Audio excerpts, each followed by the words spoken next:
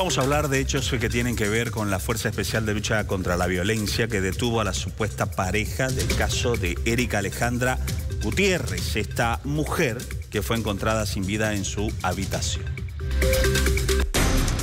El pasado 2 de agosto ocurrió un hecho lamentable donde una mujer de 23 años llamada Erika Alejandra Gutiérrez fue encontrada junto a su hija en su cuarto en la zona del Palmar, calcinadas. En esta jornada la Fuerza Especial de Lucha contra la Violencia, junto a la Fuerza Especial de Lucha contra el Crimen, aprendieron a la supuesta pareja llamado Enrique Javier Escobar Moscoso, quien tiene varios antecedentes. Y en el transcurso de la jornada, hasta mañana tendremos novedades con la aprehensión de una persona que estaba siendo buscada por eh, un delito de homicidio, suicidio, de acuerdo a lo que tipifica la ley 348.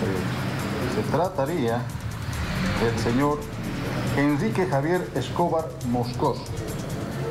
Mayores detalles haremos conocer, ya tenemos conocimiento de que este señor ha sido aprendido y se encuentra en las oficinas de la PSB a conocimiento del Ministerio Público.